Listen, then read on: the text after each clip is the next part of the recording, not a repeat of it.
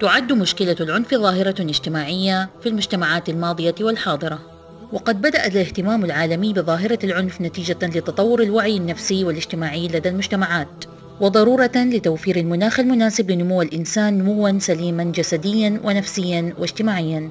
ويعتبر العنف المدرسي من بين المشكلات التي تعاني منها المنظومة التربوية في كافة المجتمعات. فهي إحدى المشكلات المنتشرة في المدارس وقد اتخذ في سبيل خفضه مجموعة من الإجراءات التربوية والتعليمية.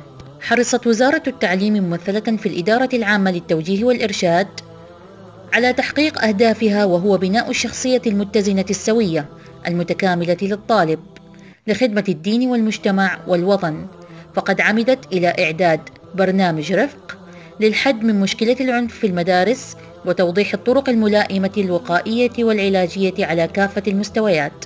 ليتمكن العاملون بالمدرسة والطلبة وأولياء أمورهم من تطبيقها بما يسهم في تحقيق بيئة مدرسية آمنة.